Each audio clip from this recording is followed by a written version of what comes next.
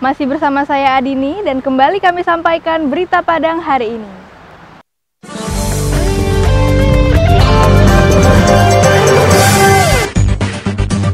Enam petak ruko di Pasar Kota Baru, Kabupaten Darmasraya, Senin malam habis dilalap si jago merah. Keenam toko tersebut merupakan toko yang menjual mainan anak-anak, pakaian, dan aksesoris telepon genggam. Tak ada korban jiwa, namun kerugian ditaksir ratusan juta rupiah. Puluhan aktivis mahasiswa yang tergabung dalam Kesatuan Aksi Mahasiswa Muslim Indonesia atau KAMI menggelar aksi terhadap tragedi kemanusiaan yang menimpa Muslim Uighur di Provinsi Xinjiang, Cina.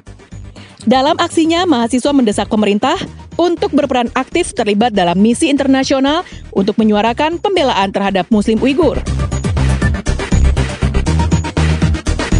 Menjelang perayaan Natal dan libur tahun baru di Kabupaten Kepulauan Mentawai, terjadi lonjakan penumpang kapal antar pulau. Ini dikarenakan aktivitas mudik warga yang hendak pulang ke Mentawai atau sebaliknya. Pemerintah daerah setempat menyiagakan sejumlah alat transportasi laut untuk mengangkut para pemudik.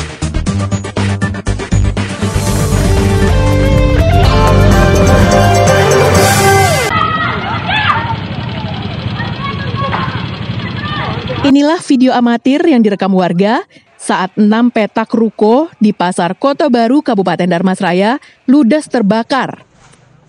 Upaya warga bersama petugas pemadam kebakaran untuk memadamkan api yang membakar ruko tersebut tidak membuahkan hasil. Besarnya kobaran api membuat warga dan petugas kewalahan. Keenam petak ruko ini merupakan milik pedagang pakaian, mainan anak-anak, dan aksesoris telepon genggam. Tiga unit pemadam kebakaran milik pemerintah Kabupaten Darmasraya diturunkan untuk memadamkan api. Namun, api baru bisa dipadamkan setelah hampir semua bagian bangunan ludes jadi arang. Polisi masih melakukan penyelidikan terhadap penyebab terjadinya kebakaran. Oh, sementara kronologis kejadian masih dalam hal penyelidikan, oh, di mana kita karena dalam hal ini oh, berupaya untuk masyarakat masih berupaya untuk mendinginkan api dan api telah dipadamkan dan berusaha untuk mendingan sementara kita dalam hal ini oh, dalam hal penyelidikan. Kerugian sementara ditaksir lebih kurang berdasarkan informasi dari saksi-saksi adalah sekitar 500 juta.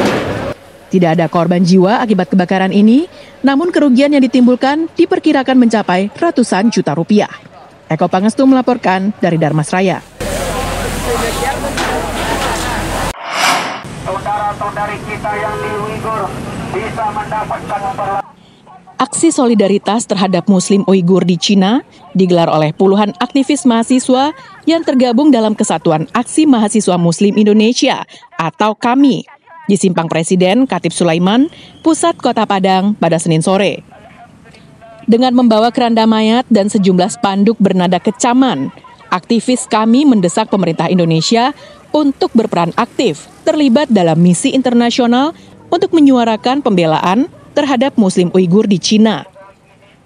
Menurut Ketua Kami Padang, berdasarkan laporan Amnesty Internasional, etnis Uighur mengalami kekerasan dan pembatasan untuk beribadah sebagai seorang Muslim. Kami Padang mendesak pemerintah melakukan tindakan konkret untuk berperan aktif dan terlibat dalam misi internasional menyuarakan pembelaan terhadap Muslim Uighur. Uyghur karena kan selama ini uh, uh, informasi di Uyghur itu ditutup oleh pemerintah Cina gitu. Kita berharap memang dibuka sebesar-besarnya agar kita tahu keadaan masyarakat saudara muslim kita di sana gitu. Bukan kurang peduli gitu, tapi memang diharapkan lebih peduli lagi gitu. Karena kan sama muslim apalagi kita Indonesia kan katanya kan mayoritas Islam ya. Gitu. Untuk mengantisipasi agar tidak terjadi kemacetan di simpang Presiden, sejumlah personil polisi dari Polresta Padang diturunkan untuk mengamankan aksi solidaritas tersebut. Aksi yang tidak mendapat perhatian dari warga kota Padang dan pengguna lalu lintas ini berakhir dengan sendirinya pada pukul 6 sore. Dari Padang, Robiham melaporkan.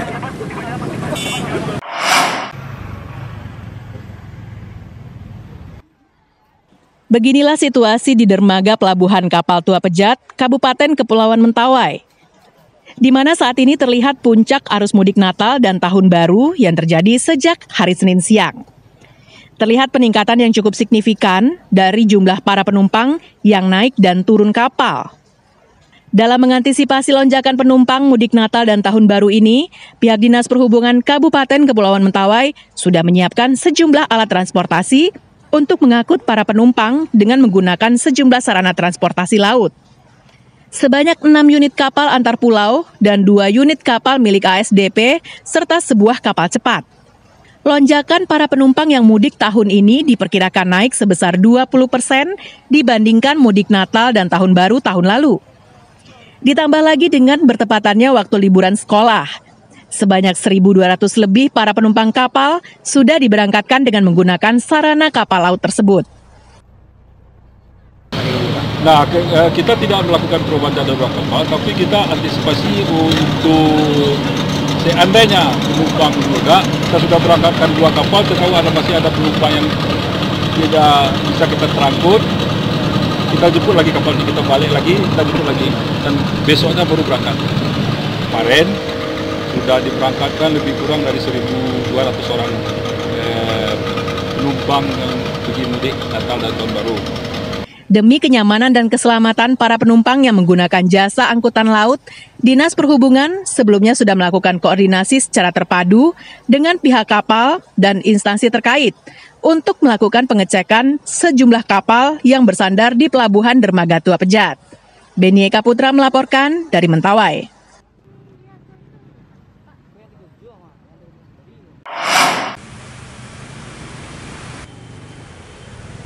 Sejak dua hari menjelang perayaan Natal, jemaat gereja di Kota Padang sudah mulai mempersiapkan diri untuk menggelar aksi bersih-bersih gereja, serta memasang ornamen Natal di setiap sudut gereja.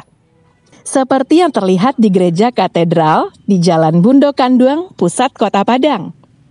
Selain bersih-bersih di dalam gereja, panitia juga memasang tenda untuk para jemaat di luar gereja guna melaksanakan ibadah Natal pada hari ini. Selain melakukan bersih-bersih, juga ada pohon Natal yang terbuat dari botol bekas air mineral menghiasi di halaman gereja. Untuk antisipasi membludaknya jemaat, pihak panitia Natal menyiapkan lebih kurang 1.500 kursi serta tenda di luar gereja.